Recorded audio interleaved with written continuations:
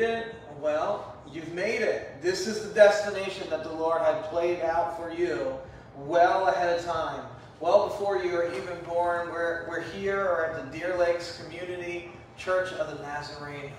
This week we are in week two of our Waymaker series. Um, I'm asking you to, if there's a Bible near you, which there should be, um, turn to the book of Luke, chapter 22.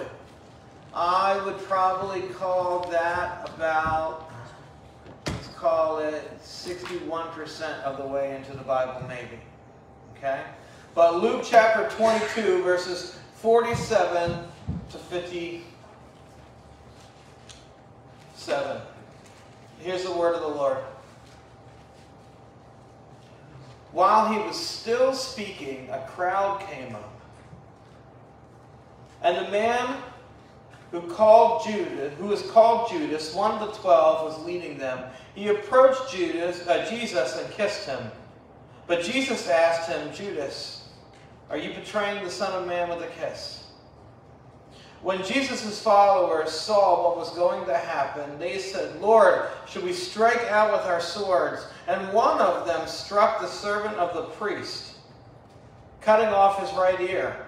But Jesus answered, No more of this. And he touched the man's ear and he healed him.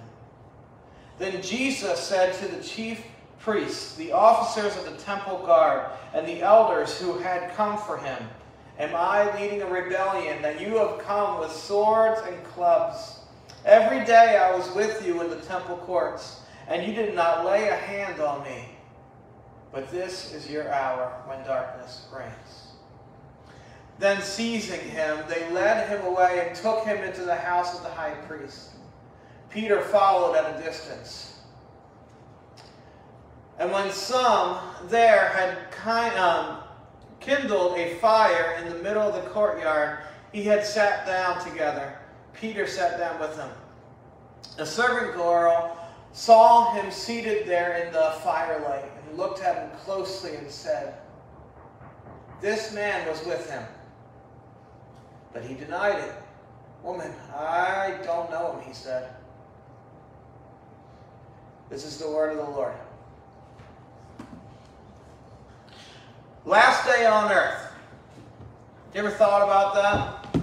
Your, your, your last day on earth. I've, heard those types of sayings, or like the last 24 hours that you got to have um, around. What are some of those things that you might want to do?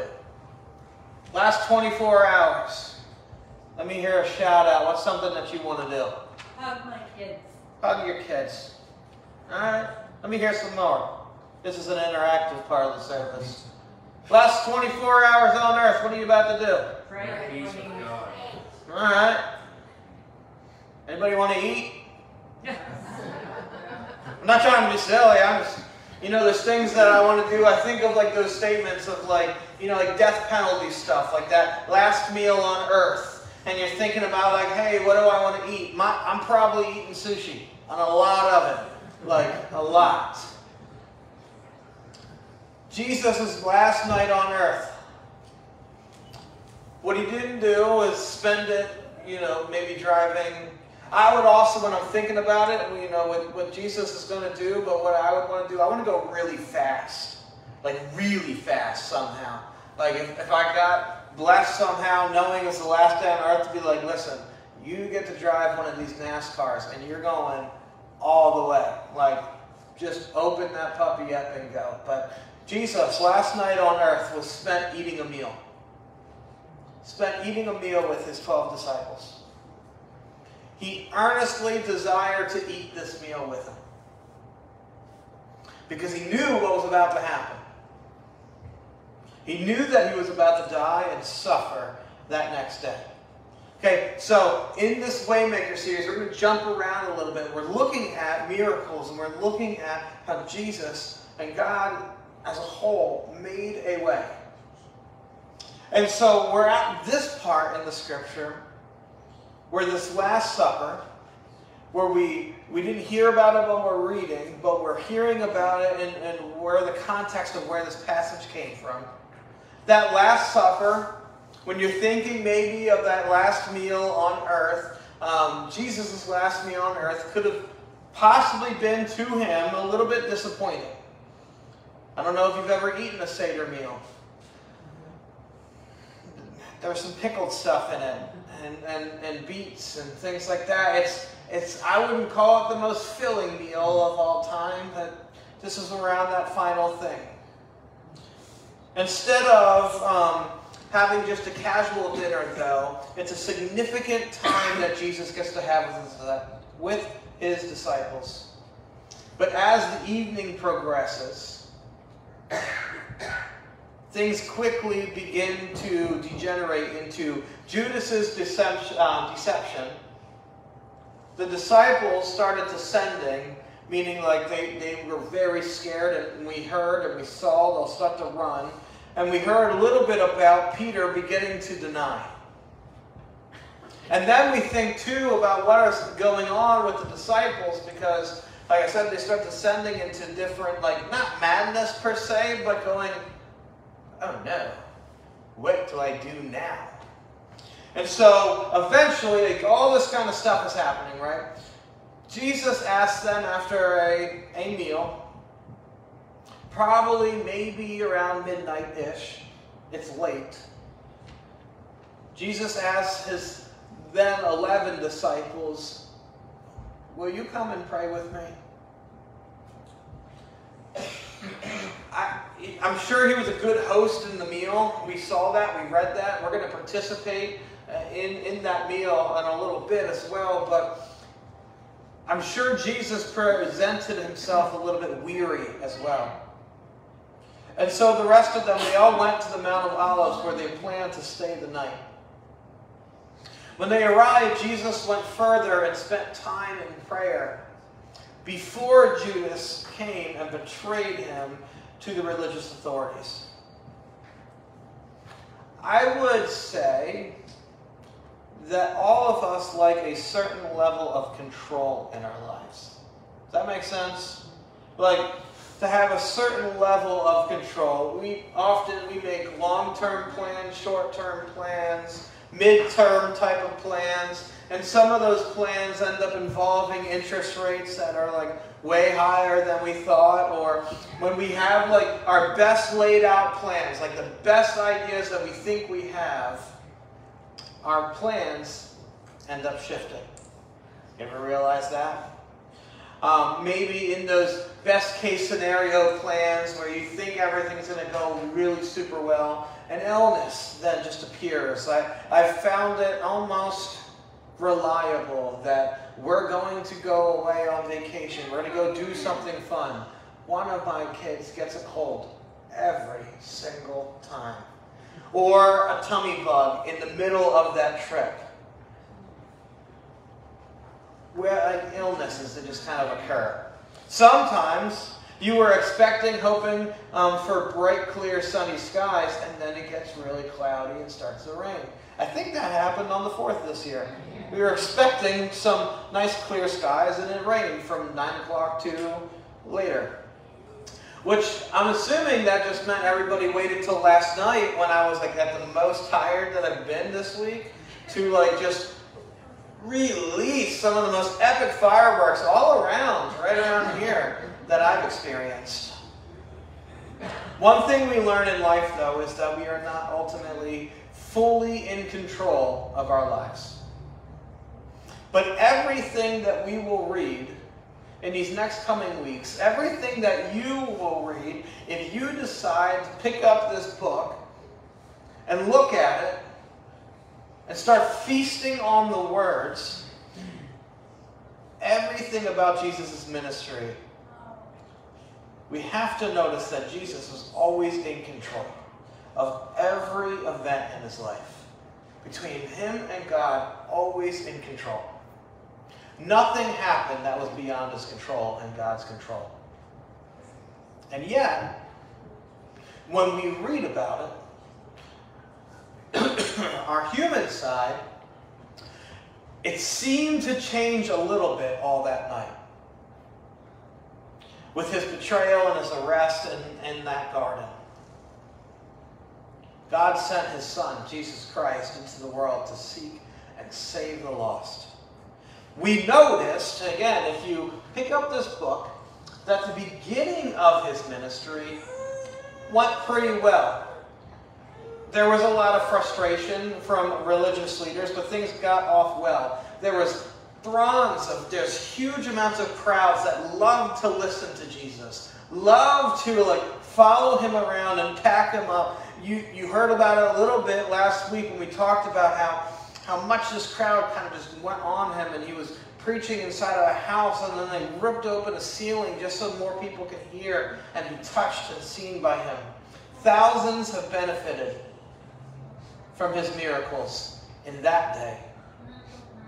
People were so taken with Jesus that they wanted to, and you, you, if you think back to Palm Sunday, they wanted to crown him as their king. But Jesus refused to be sidetracked. Instead, he kept proclaiming the good news of the kingdom, calling people to repent of their sins and believe that he was the only Savior of the sinners, between him and God. But over time, opposition arose against Jesus and his ministry.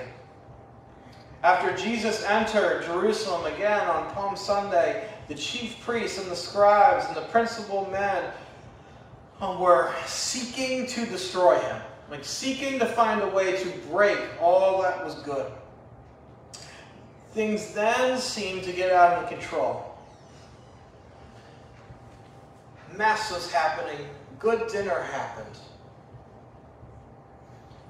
Jesus slips away with his friends and he says, Just come pray with me. I know you're tired. And he starts praying, and, and Judas will then eventually come with a crowd to betray Jesus and have him arrested. But Jesus, again, had been praying in that garden. He was praying such a I won't even call it an aggressive prayer, but a passionate prayer. He was in such a form of grief, knowing full well what was about to happen. It was such agony that his sweat became like great droplets of blood that fell upon the ground. That is the type of anguish that he was going through, knowing what was going to occur.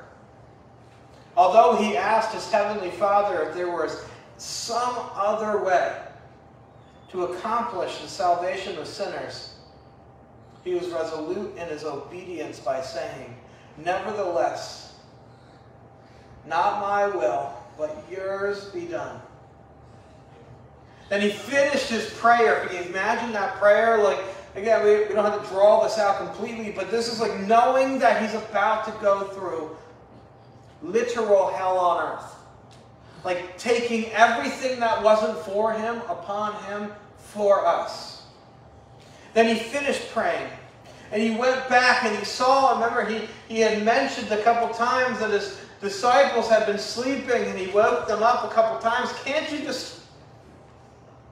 We've spent all these years together. Can't you just stay awake a little bit longer? Like, can't you just be with me a little bit more? And he walks over to his disciples, seeing them sleepy. Though things were about to change, Jesus was still in control. With the power of God flowing through him. But then this happens. There's a massive scuffle. If you can imagine, there's clanging and banging and listening and like swords coming and all the armor of the soldiers and whatnot, and the feet trampling. I am assuming that everybody, I don't know about how you wake up. I'm going to tease Ava because she is not here.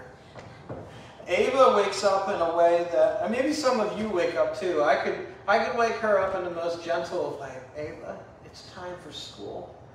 And this child shoots straight up and looks directly at you. I don't know if you do one of those things as well, but it's a surprising way to wake up, and then there's a little, you know, like the eyes open up really bright and really big, and it's kind of startling to me. But I'm assuming that although his disciples, his friends, are tired, when they hear all the mess and all the noise, they wake up fully alarmed. Because they've been fearful. They've been fearful and worried that something was going to happen to Jesus. He had mentioned at that dinner, like, it's time. My body will be broken, my blood will be spilled. yeah, they're tired, you know. And they sit up, I'm assuming, in, a, in one of those fight or flight types of moves. Because remember, some of the disciples, they take off. So there's the flight.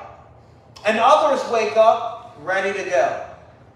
Even though they've been with this peaceful Jesus who was never taught violence, they wake up ready to go. So in this passage, the most shocking part of Christ's miracle is not what is done, but it is who it's done to. And so when they wake up, some wake up ready to fight. And we heard it in the words like, Lord, what should we do? Should we draw our swords? I don't exactly know why Jesus' disciples were carrying around swords, for they were not soldiers, but they had carried swords and they were ready to go. Peter then gets a little aggressive. And in the mid, loud scuffle, and I'm not sure that he was aiming for anybody particular.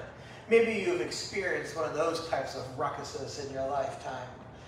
You don't even know what you're swinging at, but here it is. And Peter swings the, swings the sword, and off comes an ear. He's looking to kill. I don't know again, this is Peter, not the trained soldier. This is Peter the fisherman, who's just reacting out of anger and fear and stress. And he cuts off an ear. He didn't look for Judas like, all right, punk. Like, you want to portray my Savior with a kiss? You're going to learn today.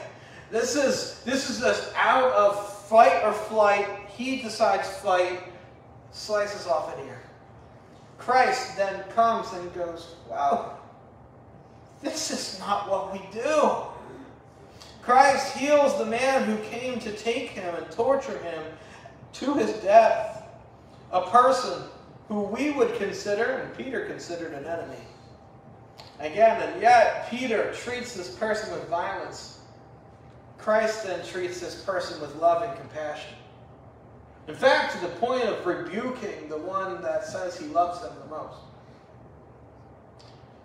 Just as Christ heals this man's ear, Christ heals our violent and destructive hearts, allowing us to follow him with grace and forgiveness. It's this thing that's been wrestling with in my mind about, you know, when we call out for justice of things like that. Often when we're crying out for justice, what we're really calling out for is vengeance. We want to see something worse happen for the effect that has been done to us. Despite Christ's insistence throughout the gospel to love our enemies and to turn the other cheek, his disciples asked Christ whether they should attack the armed mob who comes to arrest Jesus and proceeds to strike out in violence. They just weren't listening. This violent act of Peter Again, is perhaps born out of religious zeal as he wants to protect his Savior, or it's just he woke up pretty startled and he wants to do whatever he can.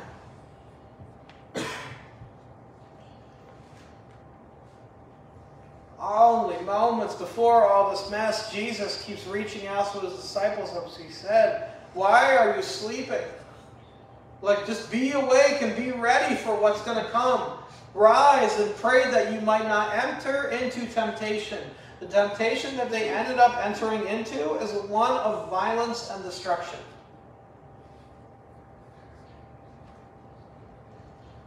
While he was still speaking, there came a crowd, and the man named Judas, the one of the twelve, was leading him. He drew near to Jesus and he kissed him. But Jesus said to him, Judas, would you betray the Son of Man with a kiss? We can understand what a massive betrayal this was when we remember what Jesus had done for Judas. First, Judas was one of the twelve that is chosen.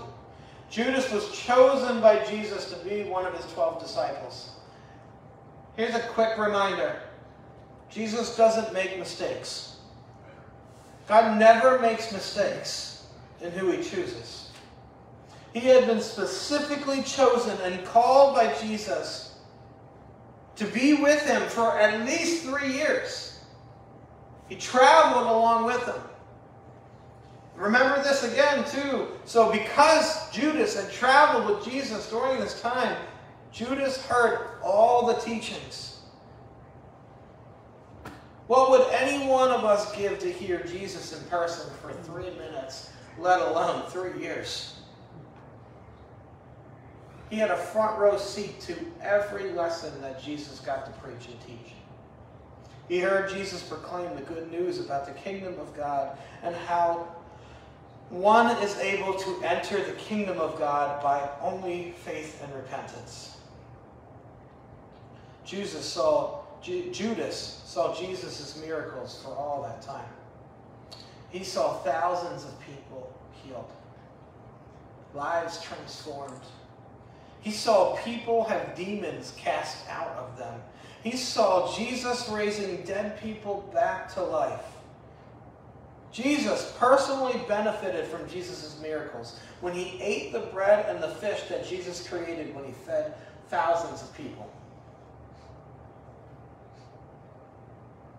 And he also had his fears relieved when Jesus calmed a storm in the Sea of Galilee. He was there the entire time. Judas was given opportunities to serve in ministry. He served as the treasurer for all of the apostles. He held all the monies. He also went out with the other disciples, with the other apostles through villages, and he preached the gospel, and he himself helped practice the healing of other people.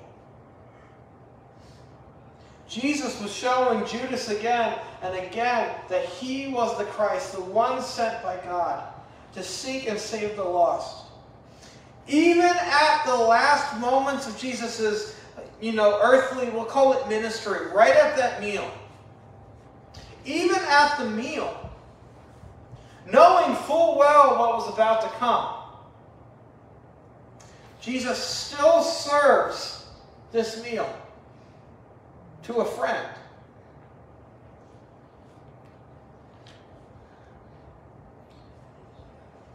So Satan incites Judas to betray Jesus to the religious authorities. But even though Judas betrayed Jesus in the Garden of Gethsemane, Jesus still reached out to Judas.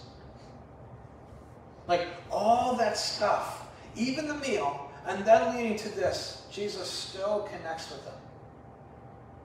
In the very act of betrayal, Jesus said to him, Judas, would you betray the Son of Man with a kiss? Here's the reality Jesus will always and has always, period. There's no questions about this. You can try to ask me and you can try to argue with me about this. It's okay to be wrong. Jesus still loves lost sinners every single time. Every single time. Even in the moment of betrayal, even in the moment of looking God and or Jesus right in the face and being like, I hate you He still loves people that much to still reach out and to still offer this bridge of connection.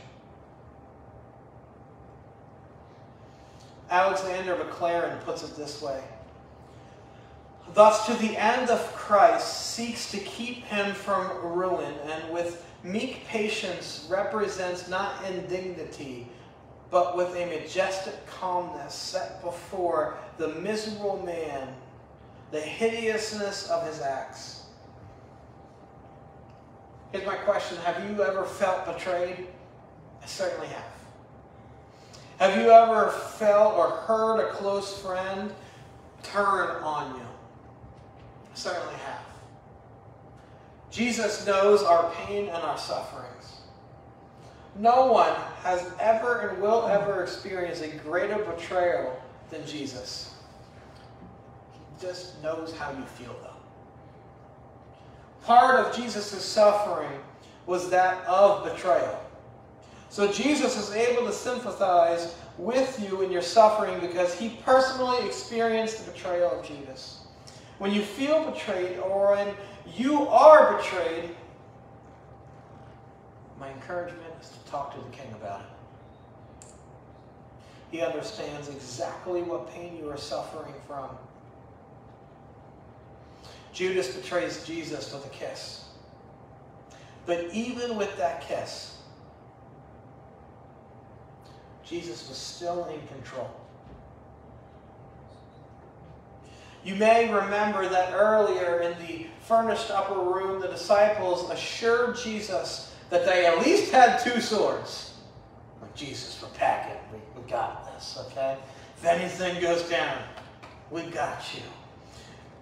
Peter even went to, as far as to say that he was ready to go to prison or even just, Lord, I will die with you. So as the crowd closes in on Jesus to arrest him, and when the disciples who were around him saw what they saw, and they startled awake as some ran, others said, Lord, are we about to do this? Is it about to go down? Because the common response would be fight back. Run or fight back. When we feel betrayed, we immediately start thinking of how we can get back at our betrayer. Right or wrong? It's, it's one of those processes that come in when we feel really hurt. We can pull back and run, or we can, I want justice. When I want justice, I often want vengeance. That's what we used to tell our students when we would send students to team camp or camps in general. We, we, would, we would take a nix on pranks. Um, pranks are funny. You know, somebody does something silly to one person, but a prank never levels out to the same level of what the prank had already done. If you're going to prank, you then take another step. I took your sock and I hung it up here. I took your underwear and hung it on the flagpole. You're welcome. Inside out.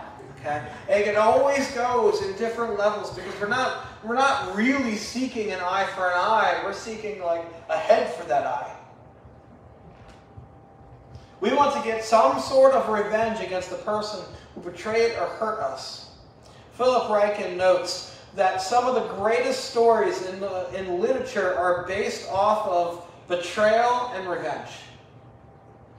Consider the Count of Monte Cristo, the famous novel written by Alexander Dumas, in which the young Edmond uh, Dantes is betrayed by three jealous friends and sent to prison. After making his escape and finding his fortune, um, Dante systematically takes revenge on each of his hated enemies driving them into financial ruin, public disgrace, suicide, or insanity. And I'm sure we clapped as we read it. There is something about a juicy story like that. Payback, baby. Something that appeals to our fallen nature. It satisfies our craving for revenge. The disciples of Jesus reacted immediately when they saw that he was betrayed. One of them, as we know, as we've said now, Peter, struck the servant. Again, I'm assuming out of sheer chaos, strikes the servant of the high priest and cuts off his right ear. Peter uses a sword but again, he has pouring. There is a time and a place for the proper use of the sword. There's this movie uh, I, I, I, watched kind of recently, but it's from 2013. It's called The Railway Man. It recounts a true story of hate, trauma, and ultimately forgiveness. It follows this uh, British officer named Eric Lomax He's an officer from World War II who was captured and sent to a Japanese prisoner of war camp where he was tortured. Thirty years later, after he was re rescued, Lomax learns that one of his captors and tormentors has then escaped war crimes and is actually working as a tour this is wild to me was working as a tour guide in the very camp that he worked at and Lomax was a prisoner in. So now he's a tour guide showing what he's done as a, as a maybe a moment of atonement, if you will. Lomax was still suffering from psychological trauma from his time in the camp and goes to confront the man. At first, he uses violence against the man who tortured them 30 years ago. But he takes some time somehow. Somehow, the Lord speaks to him in a way, and he starts to reflect, and he actually makes peace with his enemy. And then somehow, from World War II, they remained friends until their death in 2011 and 2012. So they somehow reconciled and found that. You can look it up, the Railway Man, Railway Man, if you're ever interested in watching it. In Luke 22, that we read from, Christ rebukes the disciples for sleeping rather than praying, for showing themselves to be undisciplined and unaware of the Lord's plan, even as he spoke it to them.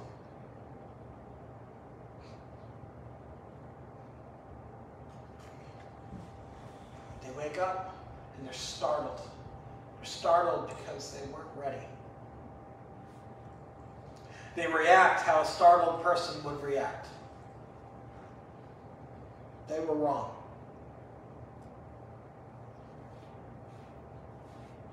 No matter how bad it got, they were still wrong.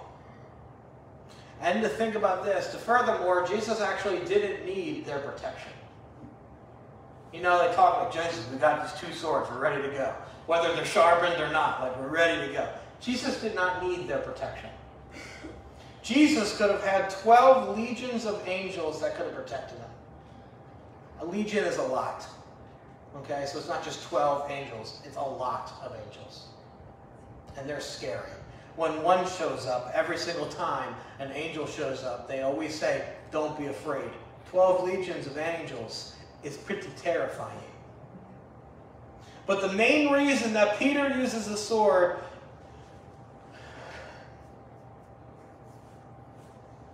was that he just didn't get this redemptive plan. A short while later, after this like swinging of a sword and Jesus placing an ear back on the head, Jesus, I mean, Judah, Peter had just run off just like the rest of them, just run off. And he's, but he's always at least trying to be in almost eyesight with Jesus. Peter starts denying. Remember, Jesus had even told him, like, you're going to do this. You're not going to do it one time. You're not going to do it two times. You're going to do it three times. The disciple who went as so far as to say that he was ready to go to jail, go to the cross, and just blatantly die with Jesus. The lesson before us is deeply instructive. To suffer patiently for Christ is far more difficult than to work actively. To sit still and calmly endure is far more hard than to stir about and take part in the battle. And at times the battle is just anxiety. It's the chaos that goes on all around us. Crusaders will always be found more numerous than martyrs. The passive graces of religion are far more rare and precious than the active graces.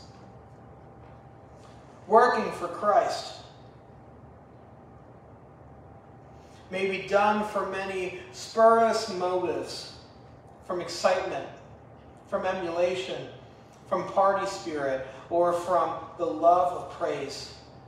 Suffering for Christ will seldomly be endured from anyone but within one motive, and that motive is the grace of God. There is unique stories that we can look into. There's great movies that I'm sure you can find again, stories of justice and revenge, but there's also these stories that we can find of peace. There are times that you might feel that you or someone you care about has been wronged. Be very careful about your reaction. Jesus immediately repaired the damage done by Peter and said, No more of this. And he touched the servant of the high priest's ear and healed him.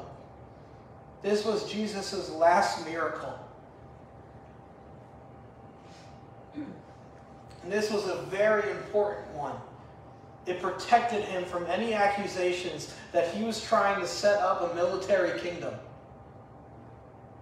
It showed that Jesus was completely opposed to unwarranted violence. But most importantly, as uh, this author Philip Ryken said, it says, it also ended any attempt to hinder his progress towards the cross, where he died for our sins. That was it. When Jesus performed this miracle, he was showing his purpose to bring salvation and his willingness to suffer injustices for the glory of God. For he will heal. And he will make all things right. Did that man who got his ear cut off decide to change from his evil ways and follow this Christ who put an ear back on his head? I don't know. But it did some weird type of kickstart to the disciples who've already seen it. After Jesus heals the ear, he addresses those who have come to arrest him. Not only did this mob come to arrest him in a secluded place, but they were prepared for an armed conflict. He says to them, Have you come out against a robber with swords and clubs? So while the mob met with violence initially, Christ continues to surprise. He prevented, this is big, further bloodshed. As he showed compassion to the injured man, in a sense, Christ continues to reveal the depths of his love to those around him, and he doesn't always he doesn't only heal those who deserve healing. He doesn't only heal those who are qualified. He even chose to heal those who persecuted him. Christ modeled forgiveness, period. Even to those who have hurt us, turning our enemies into friends. This passage has two important ramifications for Christians. First, Christ heals the violence and anger in our hearts. Some of us have a lot of that. Anger bubbles within us of change and frustration and chaos. It's what we've tried to learn and, and walk with over this last year when we use that phrase that everything is movable. Even our hearts are movable. While humanity was still his enemy, Christ showed compassion and love. Second, this passage changes the way that Christians deal with enemies, with those whom they dislike or even hate. Christ calls them to love those people, even if it's at a great cost. The cost of Jesus, after all, was his death and torture. Think about the person in your life for whom you've been harboring hatred and anger, distaste, and find some way, and it is dramatically hard. Find some way to show compassion and love to the individual. You might really be surprised at how healing that compassion and love can be. So, what we're going to do as we close, we're going to serve communion. I'm going to invite Pastor Les and Larry to come up, and they're going to offer you all communion. And we're going to do so in remembrance of He who deserved it. He did not deserve any of the suffering that He did. But we're going to remember the one who deserves all the praise. We're going to take communion in the same way, in the same spirit and remembering that even Judas, even one in the pit and midst of chaos, got to take this meal. So how we're going to do is they're going to stand forward. And I'm going to invite you to come forward.